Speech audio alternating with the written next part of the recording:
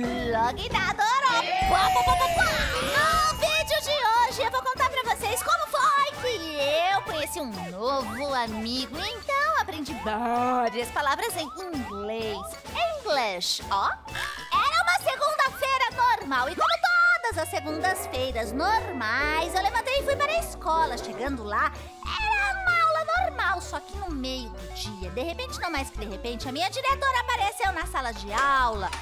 Gente, aula de educação artística, sabe? Apresentando um amigo novo.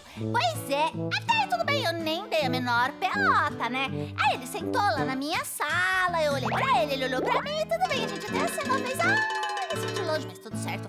E aí, na aula de educação artística, eu tinha que fazer um desenho bem bonito. Ai, era tão lindo. E era tão lindo, principalmente porque eu tinha que usar a cor rosa. Só que aí, o meu lápis rosa tava que era um cotoco desse tamanho. Eu precisava de um lápis novo. E eu olhei no estojo daquele menino.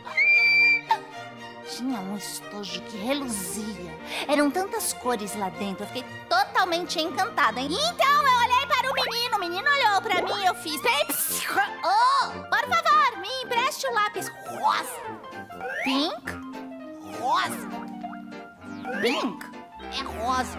Pink. Rosa. Pink? O que, que é isso? Eu falei é rosa. E ele lá do lado de lá falando. Ah, não entendi nada, né? Eu resolvi mudar a cor do lápis, né? Eu pedi um marrom.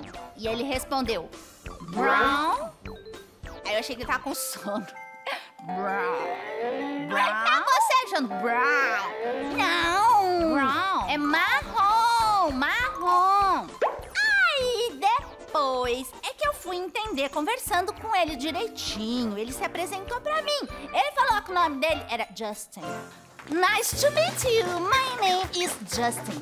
Justin. No, no, no. Justin. Justin. Ele era do Canadá. E no Canadá, a principal língua é o inglês. Aí eu entendi tudo. Tava falando dos nomes das cores em inglês. E ele entendia um bocadinho de português. Por isso, ele tava traduzindo, entendeu? Nossa, eu fiquei tão empolgada que eu resolvi ensinar ele também uma porção de coisas, assim. O nome das cores, o nome das frutas, nomes de um monte de coisas muito legais. E ele me ensinou em inglês. Ele me ensinou tanta coisa que eu vou mostrar pra vocês tudo que eu aprendi agora. Quer ver só? Branco é white. Amarelo é yellow. Roxo é purple. Vermelho é red. Preto, black. Verde, green. Laranja é orange. Azul é blue. Violeta é violet. Verde limão é lime.